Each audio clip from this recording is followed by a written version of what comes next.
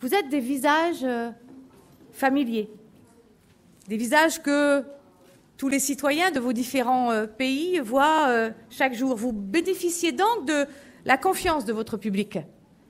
Pour la France, qui accueillera la conférence mondiale sur le climat, ce qu'on appelle la COP 21 à la fin de cette année, votre appui, votre appui pour la sensibilisation du public est donc Ce que nous attendons des présentateurs météo, mais ils le font déjà très très bien, c'est qu'ils soient vraiment les messagers non seulement de, de, la météorologie, mais aussi du climat, parce que ce sont deux sciences qui sont dans la continuité. Et il est important au jour le jour de connaître le temps qu'il fera demain, mais il est aussi, il est aussi important de, de disons d'être en mesure de prévoir au-delà à horizon 2050. Nous sommes tous concernés et nous sommes, euh, comme le disait très bien le ministre, les, vecteurs euh, privilégiés de, ce message puisque nous parlons tous les jours au quotidien aux gens et euh, la météo n'est pas indissociable du climat.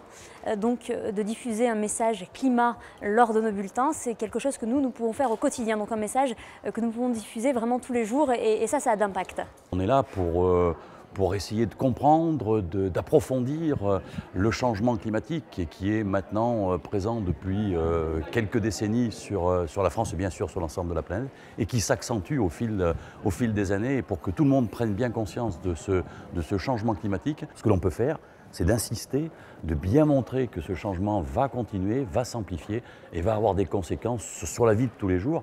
Et donc essayer de faire prendre conscience de, de ce changement très important. My expertise is the next couple of days. I storm chased, I've been in every hurricane, tornadoes, I am in the extreme weather. But to go forward, looking at what we can be as a responsible communicator to the people that are listening, you have to give them an idea of what's happening. My job, because that's not my expertise, is to find the experts, tell the story visually. I need, a, I need to be in the Arctic. I can't just show someone and say, here's a map and you know, the graph is going like this. That doesn't in, in doesn't change people. We need to showcase and show them how climate is changing.